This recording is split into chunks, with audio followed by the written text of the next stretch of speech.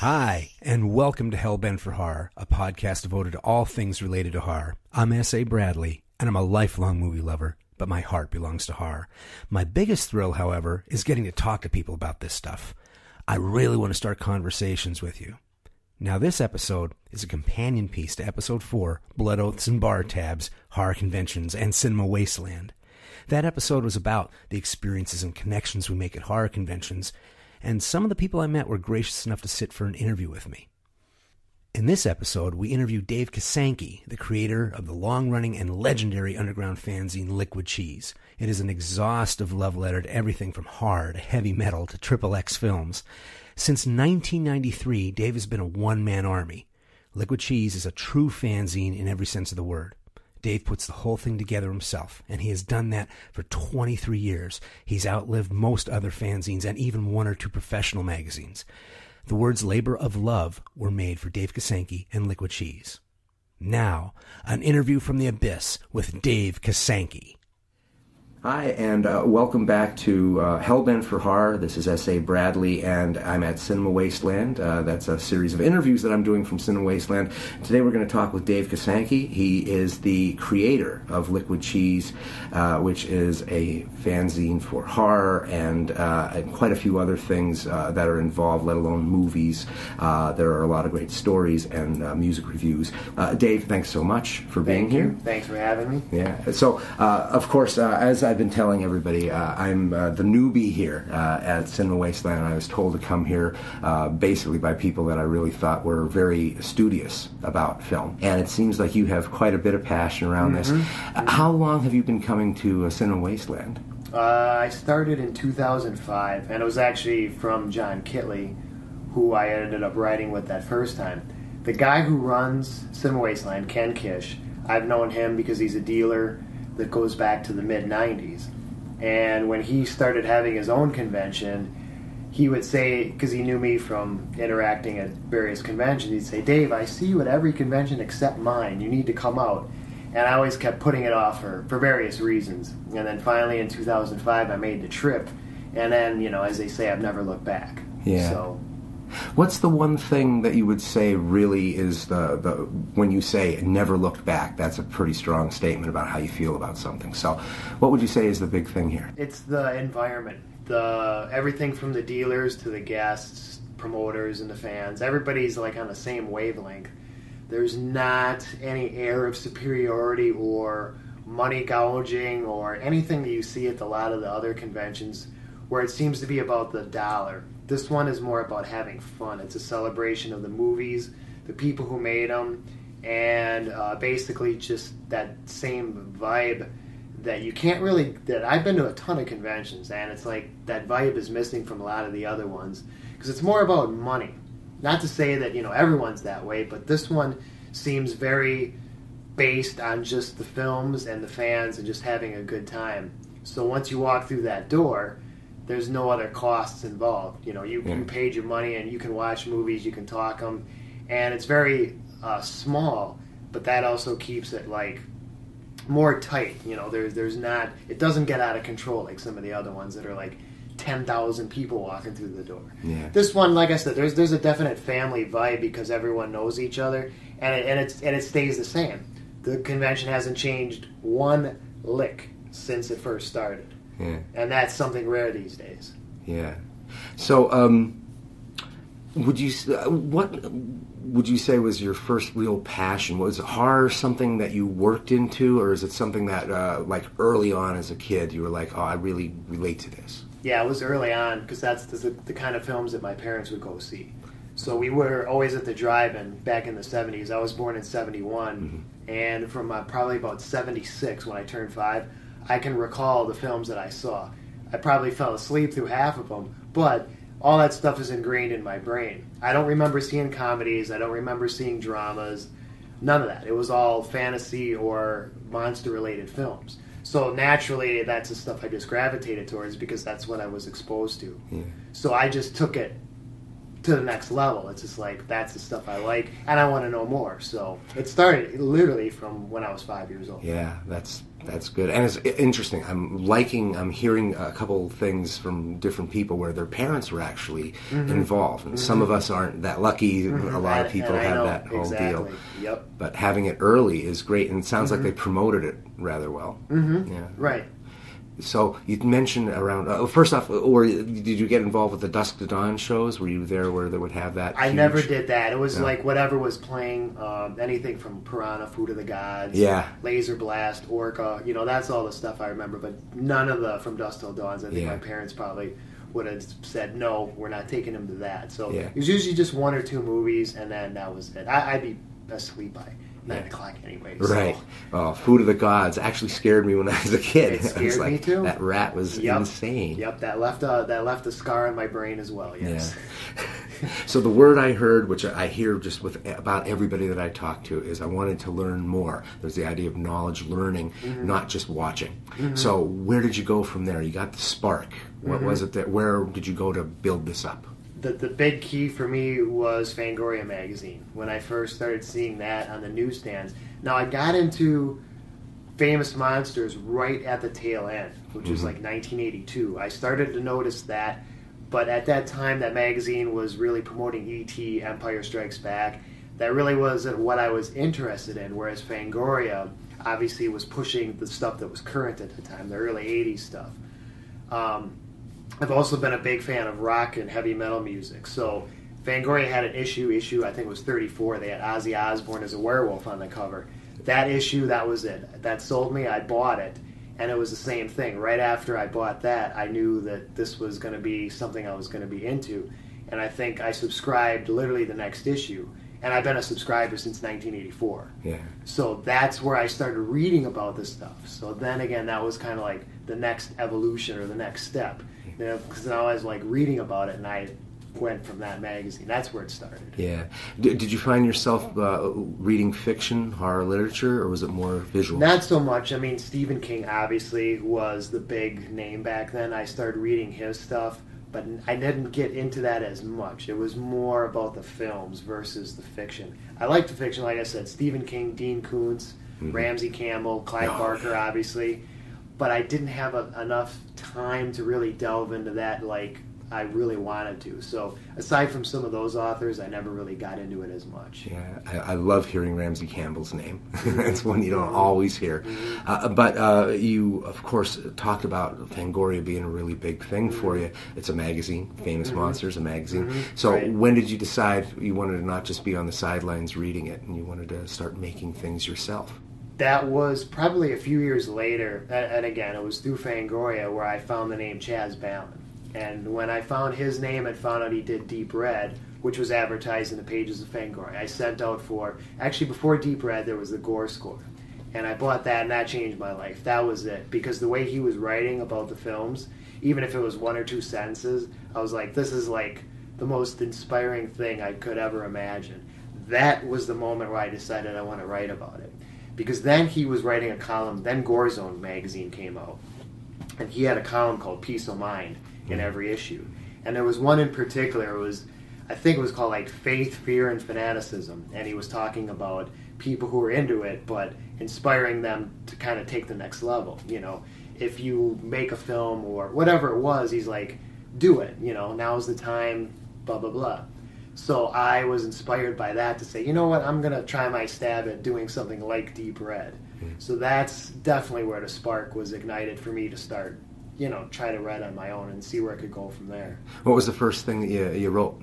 The first thing I did was I, I did something. It was uh, probably 1985, and it was called the Gore Gazette. Now at the time, I had no idea that there already was something called the Gore Gazette in New York from Rick Sullivan. I didn't find about out about that until years later, and it was strictly for myself. It was something I typed up on a Commodore 64, printed it out, and I looked at it, and it was just like, okay, that's where it started. But it never left my house. It was just just a stab at something, just to see what it would look like. Yeah.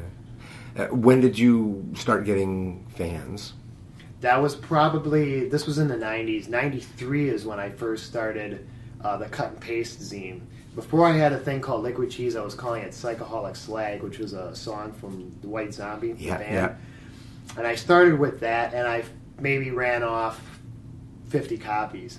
And I sent a couple of them out to other publishers, and one of them was Michael Weldon, who was doing Psychotronic Mhm. Video.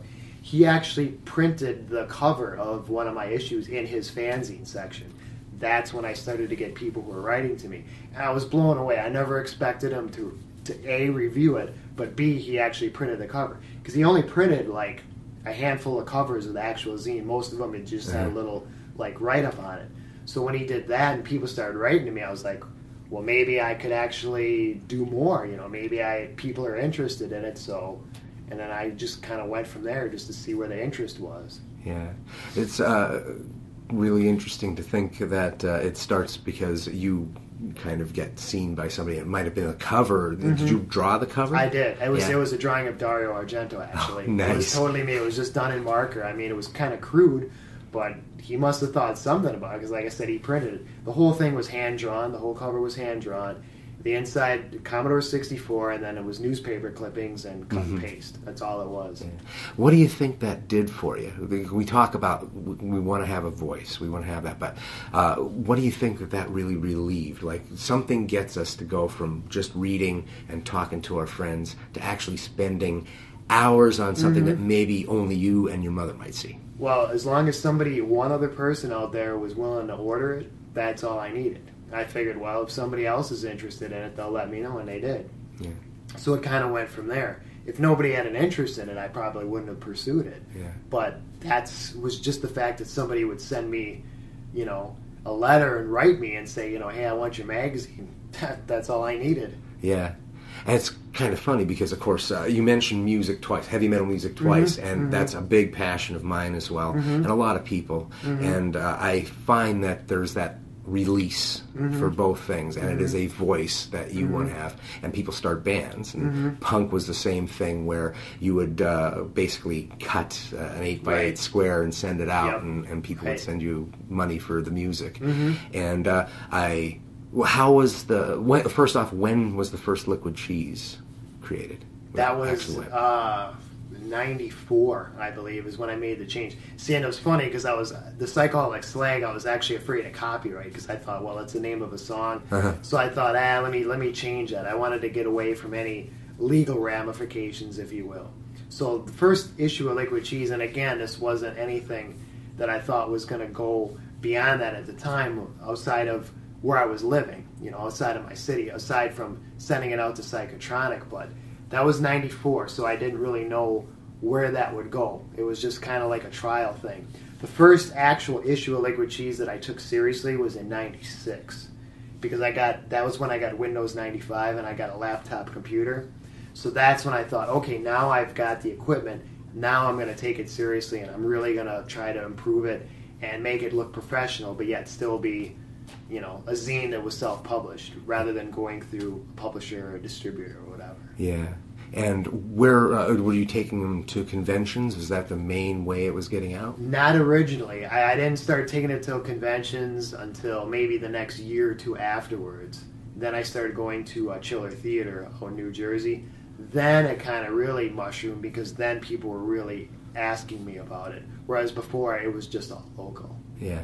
Now, uh, another thing that happens with punk rock bands and stuff like that is the critics or people that are fans, the roadies suddenly become part of the band. Mm-hmm. So, in your magazine, did you have people who started writing for you? I did. Yeah, I did. I had people who were writing to me who were interested in writing about whatever, you know, whether it was Japanese uh, superhero TV shows or H.P. Lovecraft, whatever. You know, at that time, it didn't really matter. It was kind of like a hodgepodge of interests. So, yeah, I probably had like about a half a dozen people who were writing to me, just sending me stuff. It was all correspondence through the mail because the internet was still Right. in its infancy. So, yeah, I probably had about a half a dozen people who were sending me all kinds of stuff. Even independent filmmakers were sending me stuff on videotape, so to review, which was kind of cool. I didn't even expect that. Yeah, that's great. Yeah. Uh, how, what would you say is like the the arc of the, the work that you're doing? Say a typical magazine, a typical issue. What's inside of it? It, I try to have convention reports it's convention reports and like DVD or Blu-ray reviews are like the key, and then I try to have interviews if I can, and I try to have like one main feature, either on a specific film or a specific actor or director. I started out doing like smaller pieces where we're mainly just reviews, and I, I was kind of getting tired of that. I'm like, I need more meat, you know, I need more substance, more longer articles. So that's when I started like investigating filmmakers and actors and really doing some research and putting a little more time into it.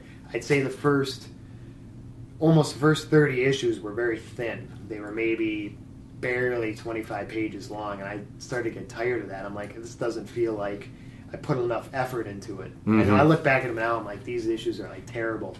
So I started to put more effort into it and write longer articles. The page count increased, but I felt more confident that you know now I have something. It's not just reviews. There's actual interviews. There's articles, and I also like doing artwork, like uh, uh-huh. publishing galleries and stuff like that, like several pages of artwork. So right now I'd say that's pretty much what a typical issue would consist of. Yeah, what the art uh, the artwork is striking, mm-hmm. to say the least. Mm-hmm. Uh, who are the artists that mostly are on your covers? Right now it's Rick Melton, who's uh, from England. He's my number one guy. He sends me tons of stuff, and I'm definitely going to use him. But prior to that, Putrid, which was Matt Carr, mm-hmm. he was another guy that I met at a convention whose artwork just blew me away and I think he did about six covers, five or six covers for me. So he's another guy that you know I'd always use because his work again is so striking. His yeah. stuff is strictly black and white, whereas when I upgraded to color and I started to use Rick Melton more, that's where you know the, the connection came with him was because of it was color. Right. So, uh, do you sometimes get ideas from the artwork that's sent for you or uh, to you, or do you say, "Hey, I'm going to do something on uh, Night of the Creeps"? It, it kind of is both because um, Rick sent me a piece for Gorgasm, which was a Hugh Gallagher shot on video thing. Then all of a sudden, I, I got a spark because Hugh Gallagher ended up being at this convention, the Cinema Wasteland, as a dealer, which blew me away because I hadn't seen Hugh for 10 years because he's from Chicago and me being from Milwaukee, we were close, so I'd always see him at the conventions. So in that case, the artwork inspired me to do an interview with Hugh Gallagher. Whereas other times, it's just the art. You know, he could send me. It doesn't matter what it is. right. I'm not necessarily going to do an article on it, but the artwork is just so striking. So it really depends. It depends on what it is. Yeah. Do you have? Uh because some of the artwork, uh, with uh, any of the listeners get to get a look at this, mm-hmm. some of it is pretty outre. Oh yeah, of it's pretty oh, strong. Yeah. Oh yeah, uh, right. Is there uh, anything that you? What do you feel is the the thing that you most resonate with in films that are horror films? Do you find that uh, it's sometimes, or most of the time, something that is a lot more visceral, or is it something that you would say is more subtle or shadowy? I like the visceral stuff. I like the, I like atmosphere. I guess atmosphere is, is a key. Um, whether it's you know the lighting, the music. There's a mood. You know, there's a certain mood that certain films have, and I guess like I said, there's like a like a vibe, a, a grim atmosphere, because I think it's rare. I don't think you can find that too much. But when I see that in certain films, whether it's a new film or an old film, that's kind of what draws me in. I mean, you can have over the top special effects, you know, any of that, that's great but there's something about a mood, and it's sometimes it's hard to define. And mm-hmm. I'm sure a lot of filmmakers would probably tell you they didn't intend it to be yeah. that way, but through the editing, whatever the process, the from the time they made it to when it got released, there's something there, and there's certain films that have it, and that's the stuff that really draws me in. Yeah, if you were to tell someone who's coming right into horror, uh, relatively new, that you wanted to talk about mood, what movies would you say really have the mood that really struck you? favorites? You know, I, go back to like a lot of the black and white stuff. Um, Mario Bava, you know, yeah. he's he's a perfect example where you talk about Black Sunday, uh, Black Sabbath. You know, mm-hmm. a lot of that that old stuff where there's a definite mood. The gothic mood, you know, is definitely there. But then you have like a film like the Texas Chainsaw Massacre, which to me defines the word horror. You know, there's there's so many characters in that film and they're all sort of deranged to me they're all sort mm-hmm. of like bent like like they're not quite there and it's that hot sun, you know, the, the thing of baking flesh, you know. Yeah. There's just something about that film. Even Tobe Hooper's early stuff, like Eaten Alive, um, The Fun House. Eaten Alive probably even more so because there's a, there's a vibe in that film too that's it's hard to shake because Oh, yeah. every character in that film seems crazed. Yeah, like it- like they're they're, they're like you know you know two steps away from being completely unhinged. Yeah, You know, it's like swamp Finley- fever. Exactly, all that stuff.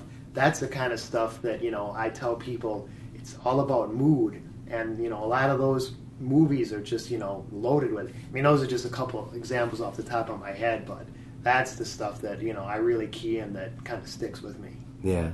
Do, what would you say was a, a, a liquid cheese that you were like, man, am I so glad I wrote this? Um, well, going back to the interview, the the interview, for example, that I did with Hugh Gallagher was like probably my favorite, my favorite interview that I've ever done because he had like a lot to say about stuff. That for an interview, I would say that's probably one of my key ones. Um, but I wrote an article on two of them in particular that people said resonated with them a lot. One of them was on comic books, um, like early '80s stuff like Gore Shriek, specifically Taboo, um, and another one I did called 21st Century Horror Discovery, which was I think I did that in about 2004. It was from like '99 to 2004, the newer horror films that were coming out then. Uh, I covered like a lot of stuff because I, I was kind of getting tired about how people were saying horror films were no good anymore. You know, anything new that, that was coming out was garbage. And I kind of did that article to say, look, there's a lot of good stuff out there, but some of it you probably have to dig for. And it might not even be filmed in America. There's probably still foreign stuff. But everybody was so fixated on 70s and 80s horror, which is what I grew up on. Mm-hmm. But I'm like, don't deny this new stuff that's coming out just because it was made in 2002. Yeah. Don't, you know, turn away from it. You know, give it a chance. Yeah. I so agree. That that was a big article for me that people were like, you know, some of those films you wrote about, I went to see because you know you you know the points you made were pretty valid. Yeah. So I was pretty happy with that. Yeah, great. And I think you're absolutely right. There's some uh, when we talk mood, I'm Mm-hmm. no surprise that uh, the 2000s because there's a lot of atmosphere uh, Mm-hmm. that are in these movies, and there's a lot of 70s dread in these films as well. And uh, there Mm-hmm. Right. seem to be so many different uh, routes now. I've never seen a time in horror where there were so many subgenres. Right. Exactly. And it's just, Mm-hmm. uh, do you find that uh, there's any that you just won't touch? You're not that excited by? Not so much. I mean, the real like hardcore underground, like we were talking about um, Toe Tag. You know, the August Underground. Right. You know, those films per se, I wouldn't ever imagine myself like watching. But I knew Fred Vogel, and from knowing him and how nice of a guy he is, I'm like, you know what? I'll, Yeah. I'll check these films out. But no, if somebody said to me, "Hey, you know, I want you to see these films," you know, they're just you know torture or whatever. No, I'm not really. Those I wouldn't really go out of my way to see. That's really not my cup of tea. Not to say that I won't watch them, but I wouldn't actively seek them out. Right, right, and that's uh, that was a conversation that uh, we had late last night. Mm-hmm. right. was, uh, people speaking about what is your limit. They were Right. asking me what my limit was. and Right. it's not really about the subject, although there Mm-hmm. are some subjects that if I hear it, I kind of get. You Mm-hmm. know, I don't really want to talk there, but it's content or how Right. you do it or intent, Right. what you're trying to get from me. Uh, Right. What's a movie that surprised you that you were like, uh, this sounds like it's going to be horrible. I'm uncomfortable even thinking about it. But you saw it and you went, wow, that was actually done in a way that uh, surprised me. I, I cared about the characters, whatever it might be. Hmm, That's a pretty good question because there's probably a lot of them that are out there that um, I haven't really given too much thought of. But when I see it, I'll give you a good example of a because I get a lot of screeners. And there was one movie I got, a newer film. It was just called Flowers, and I read there was no dialogue, and it was basically torturous serial killer who was piling up bodies of victims and I, I didn't really give much thought to it. I'm like, God, this sounds again like some torture, whatever. But I couldn't believe how artistic it was. But it was uh, unbelievably gory, viscera, guts. It's women like crawling through a corridor of a house littered with corpses, and they are. Well, I don't want to, you know, ruin it for anyone who might want to see it, but when you come to realize what these women are and what they represent through no dialogue, I was completely blown away because I went into it thinking, ah, this is just going to be something you know again gratuitous and gore for gore's sake, but I couldn't believe that it was made with such artistic passion that I was actually by the end of the movie going, that was brilliant. Yeah. Totally brilliant. Hi, folks. My conversation with Dave Kosanke extended beyond the time we had available in Ohio, but Dave graciously agreed to complete the interview by phone. So, what follows is the rest of the interview. I apologize in any difference in sound quality, but the conversation was just too good not to share with the listeners. So, here's my second part of my interview from the abyss with Dave Kosanke. So you have a pretty encyclopedic knowledge of horror films and an obvious love for all the different eras of horror films. So what I'd like to do is ask you to give me some of your favorite films of each decade. Uh, and uh, so let's start with the 1930s. Um, Mad Love is the one that kind of comes to my mind right away. Uh, the Peter Lorre yeah. version, because um, I, I just think that uh, the the Universal films from that that decade are the ones that everybody loves, which which I do too. But Mad Love has always been a personal favorite of mine, just because it's just such an odd, like bizarre little film, and just kind of seems a little bit left of center from uh, what Universal was doing at that time. So it's one that, like I said, it's just always been his performance is just you know through the roof in that. So it's always been a oh, favorite. Yeah. That's fantastic, and that, like uh, I think I've mentioned to you before, I've never heard uh, anybody say "Mad Love" is their favorite, so that that's really cool, and it's a pretty twisted film, so that's also pretty interesting. Well, yeah, uh, yeah. How about the 1940s? Uh, the 40s, I definitely have a uh, big fascination with uh, the Val Lewton productions. Um, mm-hmm. It's kind of hard hard to like pick one out of them, but I had probably the Body Snatcher is the one that I would have to say would be my my pick. Okay. Definitely because you know the Boris Karloff performance right. is pretty much one of his best. Yeah, yeah. How about the 1950s? 50s, I I really enjoy um Curse of the Demon or aka Night of the Demon, depending on which which version you look at, because um, I just can't can't get enough of that. I think that um, Jacques Tourneur is uh, a master. Like again, it kind of goes back to the the Val Lewton in the 40s, mm-hmm. but um, just the the whole concept of science versus reason, and you know, I I I totally love the whole um, backstory of the film about how they initially didn't want to show a demon or a monster, but mm-hmm. the studio dictated otherwise, and it's great because what you know what they ended up doing is uh, such a phenomenal like monster. It's just you know one of the the classic monsters of that that decade, and you know that that decade is filled with um, just so many wonderful monsters, you know, from all over. Obviously, that was the mm-hmm. birth of birth of Godzilla in Japan, and you know yeah. all the all the crazy stuff that was happening. Um, here in America, which were uh, you know the the big bug, you know the, the mutant, and yeah. you know all that kind of stuff. So, you know the, the the demon and Curse of the Demon had some pretty pretty good competition when it comes to like memorable monsters from that decade. But um, that's yeah. you know that that that's always fun. That it's just you know always sticks with me. It's it's such a great film. Yeah, and I'm holding the the issue number 41 of Liquid Cheese, and I see the Rick Melton cover uh, is yeah. uh, Night of the Demon, and it looks absolutely fantastic. So yeah, I'm not surprised that uh, that would be the one that you you have a lot of love for, and I think it's a pretty great film as well. How about the 1960s?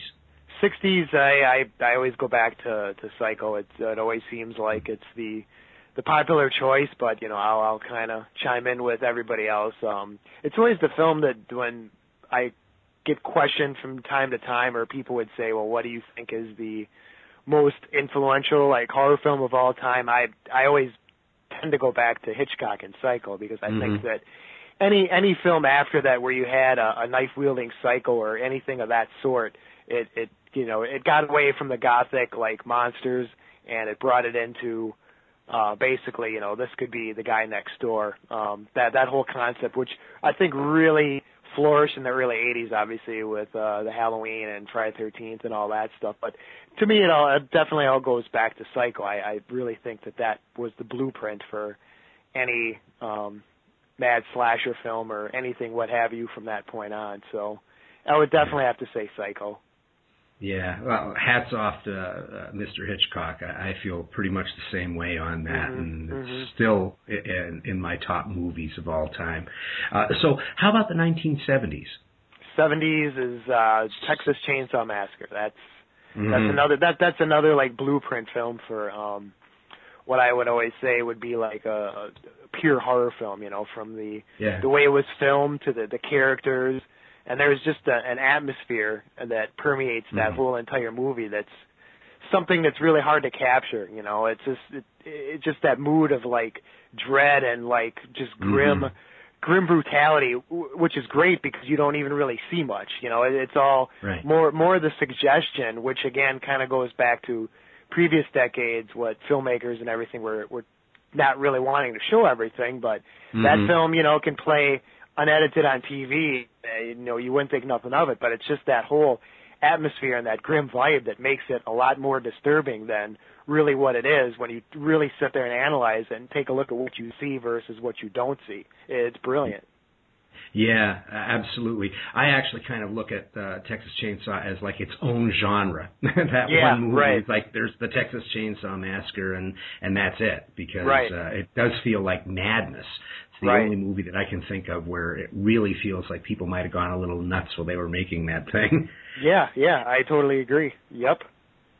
How about the 1980s?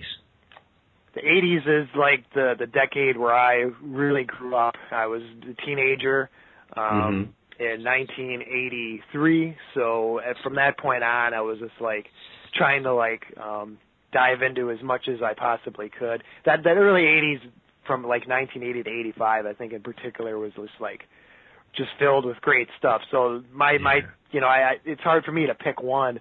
Uh the, the the two that I that I always like cherish are Reanimator and Videodrome. Those those two in Mm. particular always made like a big impact on me and Videodrome in particular I think plays well the older I got because I was able to see a lot more of what Cronenberg was trying to put into the story, whereas maybe when I first saw it, I was more about the effects and the weird Yeah. visuals. But then over the years, it's like the story really resonated, and he was actually kind of predicting a lot of the stuff that would happen with the way we watch TV and see everything, you know, down the line too, which you know, again, is pretty pretty genius when you think about it. Yeah, I mean, uh, and both of those films are, are movies that I would say uh, were uh, they just went all the way. They were Mhm. unapologetic for what they wanted to be. They didn't censor Mhm. themselves in any way on storyline or on effects. So that's uh, pretty cool. That those were the two that you picked. Uh, How about now? Everybody that I've talked to pretty much has said that the '90s was the the, the wasteland. There was nothing Yeah. really to watch. But I think you've mentioned before that you you feel there's always something to watch. So what would you say in the '90s is really worthy? Well, the, yeah, the '90s was a pretty a pretty bleak period. I mean, there's there's a lot of films that um the the biggest thing to me that that I see in the '90s was uh, a lot of the big studios were shying away from horror. You know, as far as even like Mhm. a tag or a, a genre per se, they didn't want their films to be classified as such. It, it, it all of a sudden it became like a like a bad word. Like, well, we have Mhm. to call this a thriller now, you know, or this this can't be like S- Silence of the Lambs is probably the best example where everybody was just like, well, that's not a horror film, you know, but you know, to to me it is. But the film that actually like knocked me out in the theater that I saw, which again wasn't really I don't think labeled as a horror film, but to me it's 100% would be Seven. You know, the the whole David Mhm. David Fincher when he came out with that was just Mhm. like you know that was probably I saw a lot of stuff in the in the theaters in the 90s just because I was so die hard to see whatever I could. I'm like, well, there's got to be you know something good. And when I just saw that, I didn't really know a whole lot about it, but that that film really like floored me with the visuals and the whole story and you know everything the way it kind of came up towards Mhm. the end. I I thought was just like genius. I mean, it was again, it was a big studio film, big name stars and everything, but again, you talk about grim, disturbing subject matter. I mean, it's it's about as grim as it gets. Oh yeah, uh, Fincher, as far as I was concerned, at that point was at the top of his game and was a Mhm. master of that. And Mhm. uh, I always look at Seven as kind of, uh, if you go back to the movie Jaws, one of the more uh, foreboding scenes is nothing Mhm. more than Quint talking about sharks in the water Right. in World War II. And I look at Seven as the entire movie are those stories. You come Yeah. in after the fact on everything, and the dread just builds and builds and builds. It's Yeah. pretty impressive. Yeah. How about the 2000s? I mean, we can go all the way up to 2015 because there's such a, a, huge amount. I'm not sure. Well, actually, you probably are very good at knowing the difference between the 2006 movies and the 2015 movies. Well, yeah. I mean, I my my knowledge on like newer stuff. I don't. I don't. Unfortunately, I don't get to watch as many newer films as I would really like to. I mean, I'll I'll definitely admit that. I I tried to keep up, but I be became inundated with uh, screeners from you know companies releasing all this kind of like older, more obscure stuff. So it's kind of like the the newer films. It's kind of like I've I haven't been kept keeping up like I normally would. But um, the 2000s uh, there was definitely a big upsurge in uh, you know again a lot of that grim, disturbing mm-hmm. stuff because I think a lot of the directors and special effects artists, writers, and such and forth, they were the ones who grew up in that the 70s, early mm-hmm. 80s. So they were kind of like trying to um, recapture a lot of those moments of a lot of that stuff that they grew up on, which I think mm-hmm. is interesting because I think a lot of fans tend to like um, badmouth a lot of that stuff like the, the the film that I would pick, you know, right off the top of my head would be The Devil's Rejects from Rob Zombie because I think mm, that mm-hmm. I think that a lot of people like to badmouth him, you know, for various reasons. But again, I think he's one of those guys that grew up with a certain, you know, decade and certain love of certain mm-hmm. films. And I think that House of a Thousand Corpses was there, you know, I mean, I think he had the idea there, but I think he really kind of mm-hmm. corralled everything he wanted to do with the sequel and really make it like the film like he would basically wanted to recapture that that 70s grim vibe, like we were talking about Texas mm-hmm. Chainsaw Massacre. You know, a lot of a lot of filmmakers were inspired by that. Not to say that The Devil's Rejects is like that, but I think that it's trying to recapture that that kind of vibe, that that whole like. And, and some people don't even really call that a horror film. You know, I mean, a lot of people mm-hmm. think thinks it kind of crosses over into whatever crime or this or that, but but again, I think it has that vibe from the 70s stuff, and I think it probably does it as well as any of the other ones that I've seen. So kudos to okay. him. Yeah, yeah. So back to the '90s, only because I want to get back to Liquid Cheese, because sure. uh, mm-hmm. start in the '90s, uh, and it's going strong during the fanzine boom. But then right. the culture changes, the fanzines start to disappear pretty rapidly. Yet here you are, Liquid Cheese survives. It's what 23 years later. So how'd you do it, and what kept you going? Just basically the the passion for everything that um, I was accumulating, you know, whether it's watching, whether it's reading, whether it was listening, it, you know, I, I still kept into all the stuff that I was into, and I, you, you can kind of look through the old issues, um, the mm-hmm. ones from the '90s, and totally see where my head was at. There's a lot of um, Hong Kong cinema from that time period, mm-hmm. which would be early '90s, mid '90s. I was watching a lot of Hong Kong stuff. There's even a lot of anime in those issues, so you know, Japanese animation was starting to really creep into um, American culture at that time, mm-hmm. and we were kind of like tapping into that. The internet in '95, um, when I got my first uh, PC, and I started mm-hmm. getting on the, when I was in, into the internet and first got hooked up to the internet, then you could kind of see just little smidgens of stuff and how the websites for horror and all these different other genres were just starting out and you could just see where where people were trying to connect with others who were into the same stuff. Because prior to that, the biggest mm-hmm. thing I had, obviously, with the fanzine, but the other thing was tape trading. So there was kind of like whether you were trading zines or, or trading videotapes, that was kind of the big underground network. So I think the the fanzine always kind of tied into the whole tape trading thing because a lot of the stuff I was reviewing were tapes that I was just trading with people. So it it, it kind of one one thing played into the other, and it, it was just you know again I would do an issue, um, fill it with stuff that I was interested in, and mm-hmm. if, if if somebody else just happened to be into that same thing where they wanted to buy an issue, you know, hey, all the better. But you know, when I first started out, it was more of um what what would please me. You know, I wasn't really mm-hmm. thinking about doing anything big with it. I mean, if you know, ten people bought it, whatever. You know, I I didn't have no expectations. It was just doing it because I was just sharing what I was passionate about. Like I said, if somebody else picked up on it, you know, all the better. Mm, and uh, I think uh, you've been pretty uh, pretty good about getting to people that way, and uh, of course going to conventions. I, I'm assuming that that's probably the biggest way that you get to touch people at this point. Yeah, yeah, definitely. Yeah, that's that's been a big key is just to um, connect with everybody at the conventions, which kind of goes back to when I first started going to conventions, which the bigger shows I should say, which was in the 90s again. I was Chiller Theater out in New Jersey. Um, Mm-hmm. I went to several of those, and I started to to connect with people back then who had heard of the zine. You know, I was just shocked that somebody would come up to me at a convention and say, "Hey, you know, I, you know, I Uh-huh. love your stuff." I mean, I never would have thought that anybody, you know, in another state would have even came up to me. But it, you know, the the seed was planted back then. Like you said, at the conventions was really where um, I started to really make a lot of connections. The other interesting thing was too in the the Chiller Theater shows was there was a lot of um, distributors and uh, publishers from England who were doing a lot of the the British fanzines at that Mm, time, mm. and those those guys loved the American stuff, and then. I was actually like the other way around. I'm like, well, the American stuff's good, but the British stuff, you know, is even better. Mm. So we were, you know, we were kind of going back and forth, and these guys would buy like bulk issues of liquid cheese and go and turn around and sell them in England, which you know to me again was I was uh, you know I was just blown away that I could get a catalog from like media publications or whatever, and sure enough, you know, liquid cheese would be in there. I you know those guys love that stuff, so that was great too, just to have that connection with you know people overseas. No, that's fantastic. Mhm. I'm looking forward to meeting more people overseas as well.